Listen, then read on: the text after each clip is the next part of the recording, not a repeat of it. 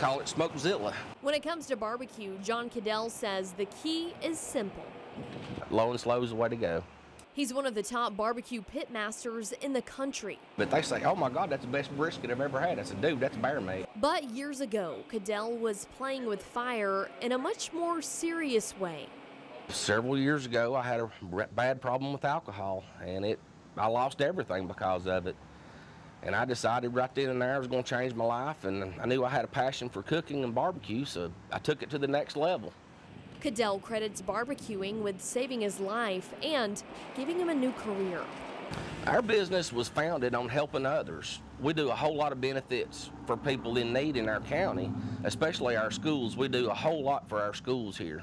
Johnboy's barbecue is a real family affair, from his parents to his siblings and even his kids. I mean, I couldn't do it at all. I mean, my mom, dad, my sister, my kids, I mean, everybody just, they chip in where I fall short. Uh, we started out just cooking underneath the tent, and then we gradually uh, got our little barbecue shack.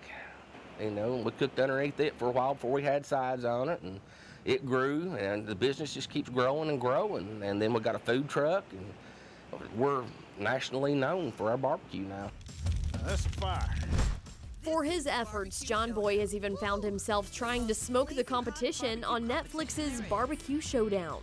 One of the, my say, sayings on the show is, I've killed it and I've grilled it. My favorite part was really getting to know all the different people from all the different places. I mean, everyone had their own personalities, their own styles, and it was really cool to cook with everyone. You learn a whole lot. And he isn't stopping there. He's also been in music videos, commercials, and is even filming a movie.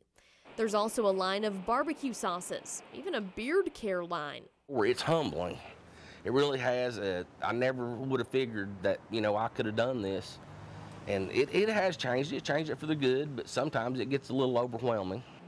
And while the secret's in the sauce, there is no secret to what keeps him in the pits. What really helps me more than anything is see people smile from eating, you know, and loving the food that we prepare. But yes, it does take a whole lot of time, and you got to get your mind right because every three hours I'm up uh, stoking the fire and putting stuff on, taking stuff off, wrapping things up. I mean, you're constantly busy. You're married to this.